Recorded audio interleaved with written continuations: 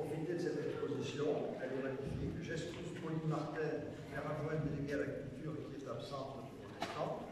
Elle a droit elle aussi à quelques jours de c'est normal. Et je vous souhaite à tous et à toutes euh, de partager ce moment magnifique, merveilleux, formidable, que vous au régal de nos yeux pour la découverte de vos talents.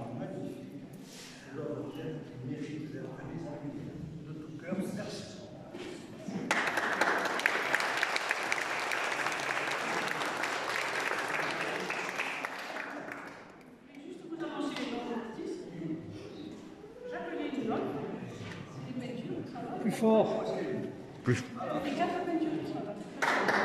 Les